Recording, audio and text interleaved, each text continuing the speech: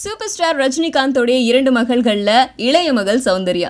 சௌந்தர்யாவுடைய திரைப்படம் கோச்சொடியான் வெளிவந்து ரொம்ப பெரிய பெயர் வாங்கி கொடுத்துச்சு அவங்களுக்கு. அது மட்டும் இல்லாமல் ஈராஸ் நிறுவனத்தோட தென்னிந்திய தலைவராகவும் அவர் பதவி வகுத்தார். அண்ட் அண்ட் தென்னிந்தியாவில் எந்த படம் ஈராஸ் சார்பில் வெளியாகுதோ அது எல்லாத்தோடைய விஷயத்தையும் இவங்க தான் கவனிச்சுட்டு இருந்தாங்க. அண்ட் நடுவில் சூப்பர் ஸ்டார் ரஜினிகாந்த் குழந்தைகள் அப்படிங்கிறது லைஃப்பில் ரொம்ப முக்கியமான ஒன்று அதனால் குழந்தைகள்லாம் பெற்றதுக்கப்புறம் நீங்கள் வந்து வேலைகளில் கான்சென்ட்ரேட் பண்ணுங்க அப்படின்னு சொன்னார். அதை ஏற்று குழந்தை பெக்கிறதுக்கு ரெடி ஆனாங்க சௌந்தர்யா. அண்ட் இப்போ ஒரு அழகான குழந்தை அவங்களுக்கு பிறந்திருக்கு. ஸோ குழந்தை பிறந்த கையோட திரும்பவும் வேலை செய்யலாம் அப்படின்னு நினச்ச அவங்களுக்கு சூப்பர் ஸ்டார் வந்து இன்னொரு அட்வைஸ் கொடுத்துருக்காரு.